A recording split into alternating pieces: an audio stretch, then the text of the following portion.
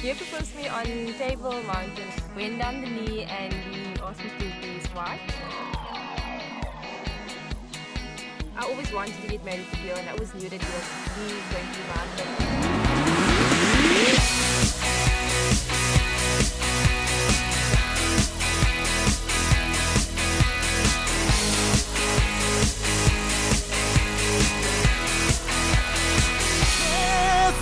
they could lie.